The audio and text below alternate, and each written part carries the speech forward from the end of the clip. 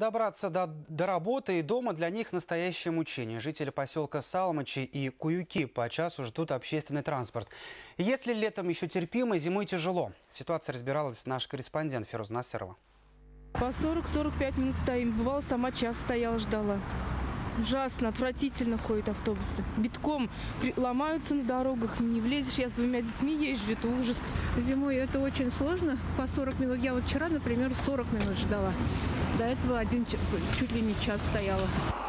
Градус возмущения растет с каждой минуты. В 16-градусный мороз гадать, приедет автобус или нет, испытание не из легких. 90 – это единственный маршрут, обслуживающий сразу несколько поселков.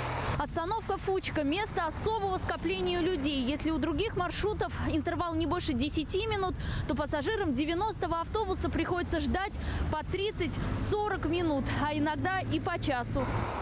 На часах 17.45. На остановке немало людей. Есть и маленькие дети. Терпения дождаться автобуса хватает не у всех. Добираются до дома на такси и попутках. За время ожидания проехало три 46-х автобуса. Спустя полчаса на горизонте появился и 90-й. Он следует по маршруту поселок Куюки, площадь Тукая. Но радоваться рано. В салон попасть задача не из простых.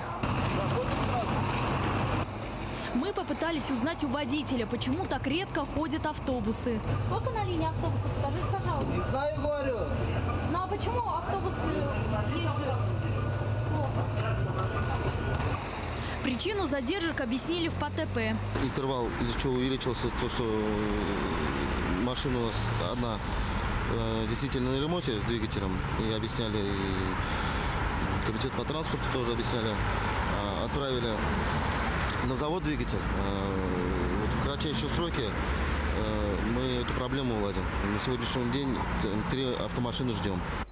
Ситуация изменится уже завтра, пообещал перевозчик. На линию выпустят пятый автобус, а автопарк пополнится в феврале. Только тогда, возможно, автобусы 90-го маршрута будут ходить чаще. Фируз Насырова, Равкат Диединов и Тимур Гатаулин. Вести Татарстан.